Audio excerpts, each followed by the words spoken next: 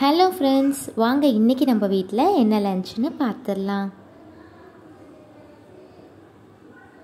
வெள்ளை சாதம் வடிச்சிருக்கேன்.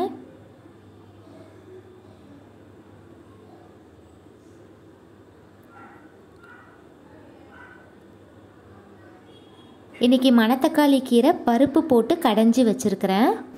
மணத்தக்காளி கீரை ரொம்பவே உடம்புக்கு நல்லது. கொஞ்சம் கசப்பு தன்மை இருக்கும். அதனால் கொஞ்சம் எக்ஸ்ட்ராவாக பருப்பு போட்டு கடைஞ்சிங்கன்னா ரொம்பவே டேஸ்ட்டாக இருக்கும்.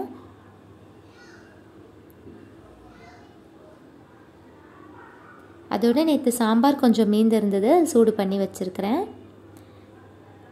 கீரைக்கு ஏற்ற மாதிரி ஒரு சூப்பரான சைட் டிஷ்ஷு முருங்கைக்காய் தொக்கு.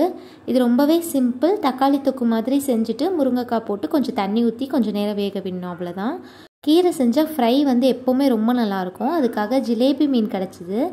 அதனால் மீன் பொறிச்சு வச்சுருக்கிறேன். அவ்வளோதான் இன்றைக்கான லன்ச் மெனு உங்களுக்கு பிடிச்சிருக்கும்னு நினைக்கிறேன். நாளைக்கு இன்னொரு வீடியோவோட உங்களை வந்து சந்திக்கிறேன். பாய்